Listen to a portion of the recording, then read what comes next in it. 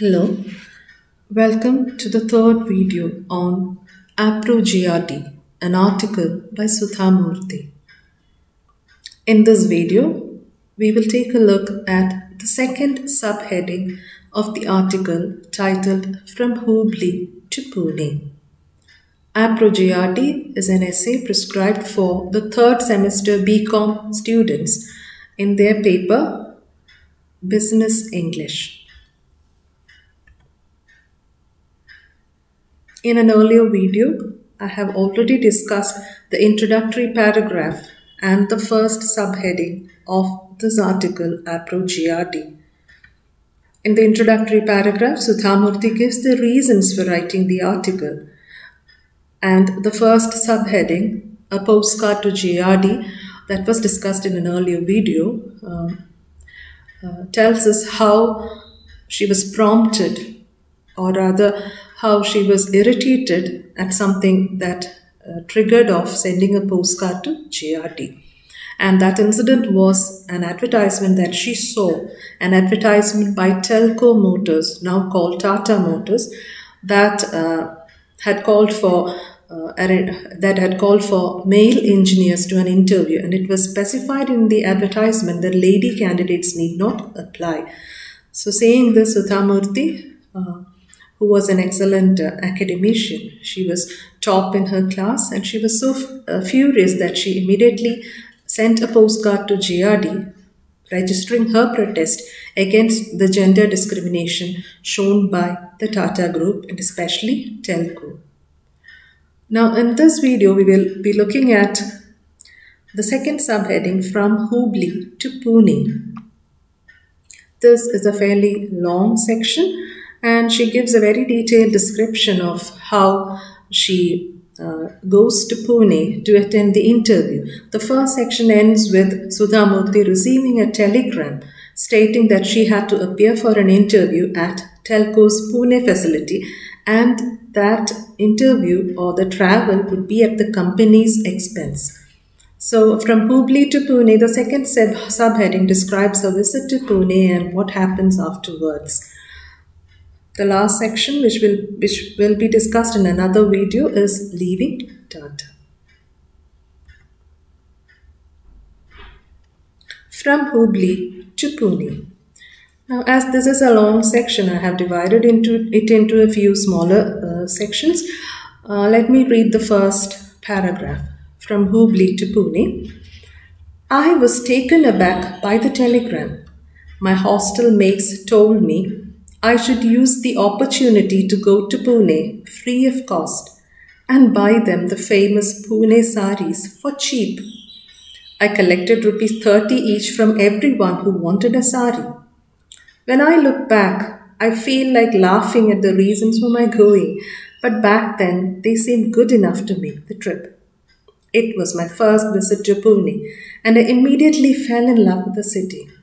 To this day, it remains dear to me. I feel as much at home in Pune as I do in Hubli, my hometown. The place changed my life in so many ways. Uh, so this descriptive account begins with a very uh, a very casual kind of writing, where she talks about uh, how she took the uh, you know took the trip or the Pune trip in a very casual manner. She was actually shocked on receiving the telegram, she had never expected a reply to her postcard to JRD, but then she was encouraged by her hostel mates to attend the interview because Pune saris were very cheap. And so she collected money from each of them and uh, she thought only about sightseeing and shopping when she made the trip. But during her first visit to Pune itself, she immediately fell in love with the city. And she records that Pune is her second home, second only to her hometown, Hubli, and that the place changed her life in so many ways.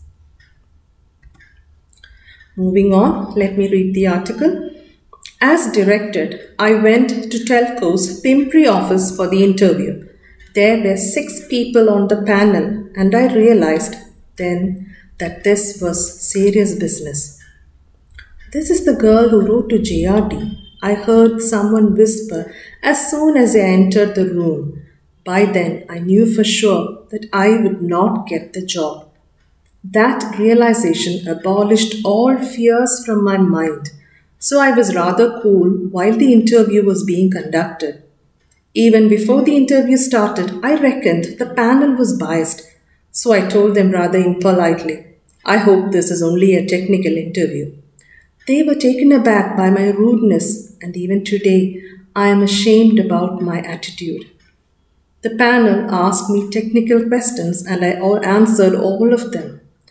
Then an elderly gentleman with an affectionate voice told me, Do you know why we said lady candidates need not apply?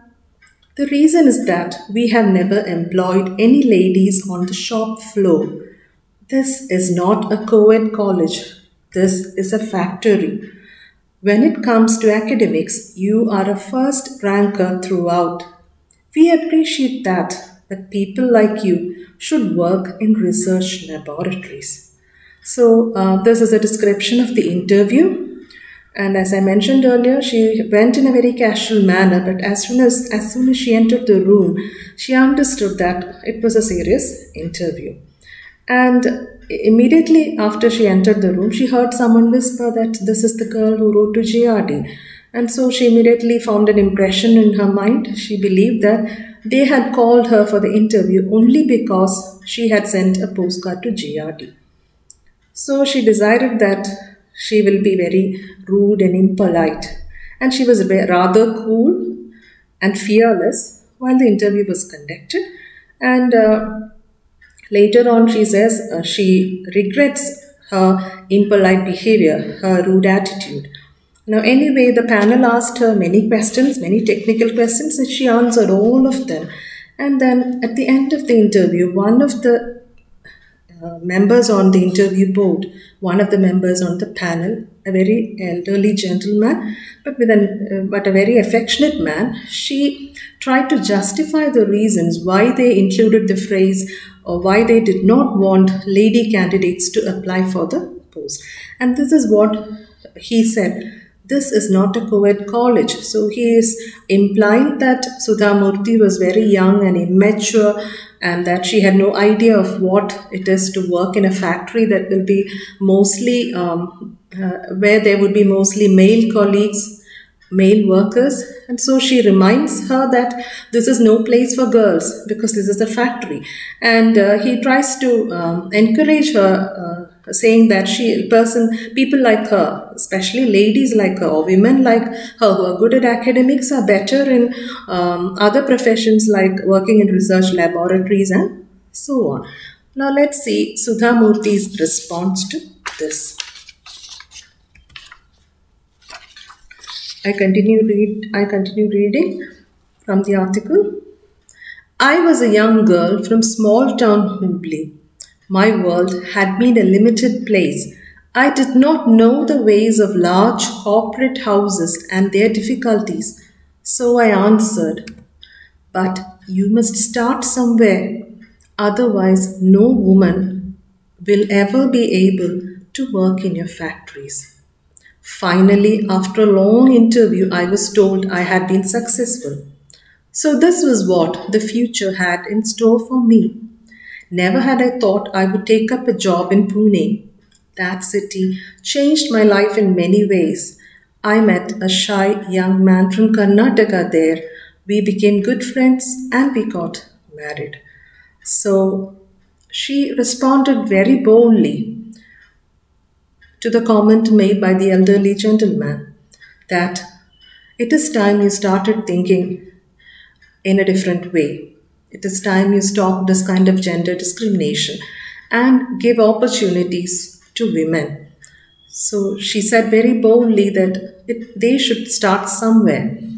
Otherwise, no woman will ever be able to work in their factories and uh, she was successful in her interview she was offered the job and she took up the job in pune and again she mentions that the city changed her life in many ways because it was there she met her future husband N.R. Narayanamurthy, the founder of Infosys.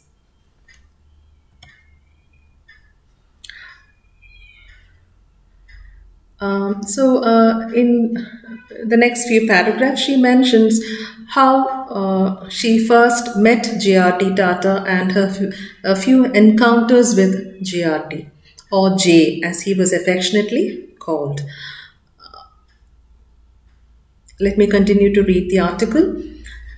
It was only after joining Telco that I realized who JRD was, the uncrowned king of Indian industry now I was scared. But I did not get to meet him till I was transferred to Bombay. One day, I had to show some reports to Mr. Mulgaonkar, our chairman, who we all knew as SM. I was in his office on the first floor of Bombay House, the Tata headquarters, when suddenly JRD walked in. That was the first time I saw Appro JRD. Appro means R in Gujarati. That was the affectionate term by which the people at Bombay House called him.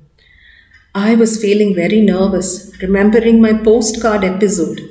SM introduced me nicely. J, that's what his close associates called him. This young woman is an engineer and that too a postgraduate. She is the first woman to work on the telco shop floor. JRD looked at me I was praying he would not ask me any questions about my interview or the postcard that preceded it. Thankfully, he didn't. Instead, he remarked, It is nice that girls are getting into engineering in our country. By the way, what is your name? When I joined Telco, I was Sudha Kulkarni, sir, I replied. Now I am Sudha Murthy. He smiled that kindly smile and started a discussion with SM. As for me, I almost ran out of the room. So this is how she Sudhamurthy describes her first meeting with JRD. And she was extremely nervous because she thought that JRD would uh, bring up the postcard episode and uh, she would be questioned by him and so on. She was uh, afraid that um, she would have to give some kind of an explanation for uh, that postcard and so on. But JRD was very nice to her. And uh, because she was very young and uh, inexperienced, she did not uh, want to talk more to him. You know, she did not feel like talking more to him. let me continue reading the article. After that, I used to see JRD on and off.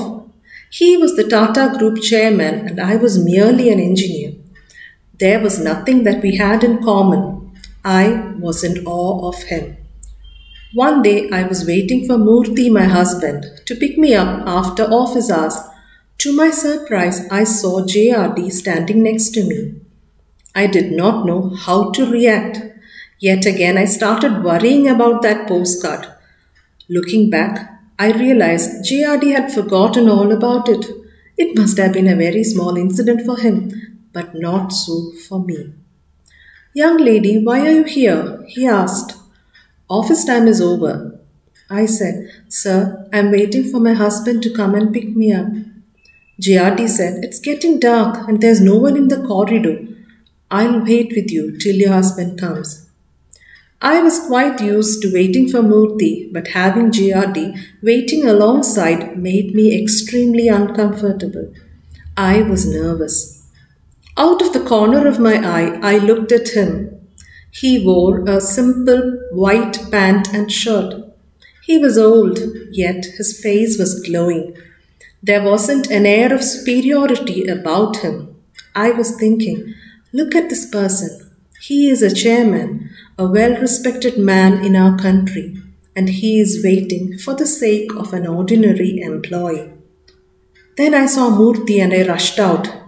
JRD called and said, Young lady, tell your husband never to make his wife wait again. So, this is where the second subheading from Hubli to Pune ends. And we get the author's impressions of JRD, though she was very nervous and extremely uncomfortable around him. She used to observe him very discreetly, and she describes how JRD was a very well respected person though he was a very influential and a very powerful, a very rich man, he was always very kind and affectionate. JRD was a very simple and down to earth person. So, uh, this is the second subheading, and we have one more one more section uh, to discuss. Uh, the last and concluding section, leaving Tata, will be discussed in another video. I hope you enjoyed uh, listening to this lecture. Thank you so much for your patient listening and stay, stay safe. Thank you.